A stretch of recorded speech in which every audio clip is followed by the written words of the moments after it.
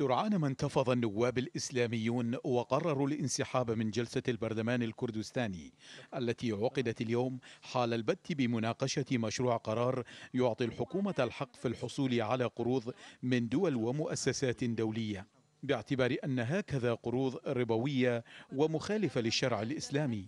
طلبنا ونطالب الرئيس الأقليم بأن لا يوقع على هذا المشروع وأن يرفضه لأنه كما تعلمون آه، بسبب آه، ستضرر الاقتصاد الأقليم كثير جدا وكذلك النقطة الأخرى التي آه، تحسب لها أكثر من 98% أهالي كردستان مسلمين ويرفضون أي مشروع يخالف ثوابت الشريعة الإسلامية ومنها المواضيع الربوية.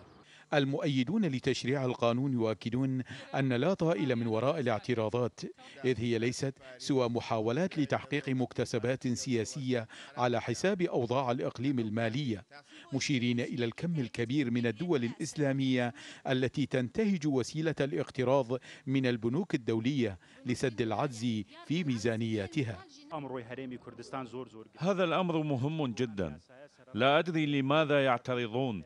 ونحن نمر بأزمة مالية حادة كل الدول الإسلامية تقترض فما المانع بالنسبة لنا؟ أما بخصوص دستورية عملية الاقتراض الكردي من المؤسسات الدولية فإن نوابا في اللجنة المالية بالبرلمان يشيرون إلى أن العملية لم تواجه بالاعتراض من قبل رئيس الوزراء حيدر العبادي الذي اشترط تسديد الإقليم بنفسه لأية مبالغ يقترضها من تلك المؤسسات في المستقبل. آلاف المشاريع الاستثمارية متوقفة هذا القرض الأموال المقترضة بحسب هذا القانون سوف يساعد على النهوض بهذه المشاريع.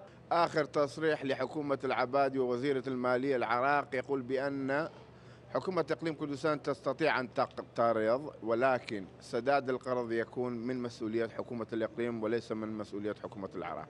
يحاول الإقليم تصحيح مسارات وضعه الاقتصادي عن طريق الاقتراض الخارجي. مع ما قد ينجم عن ذلك من اعتراضات داخلية أو خارجية. يوسف المندلاوي الحرة أربيل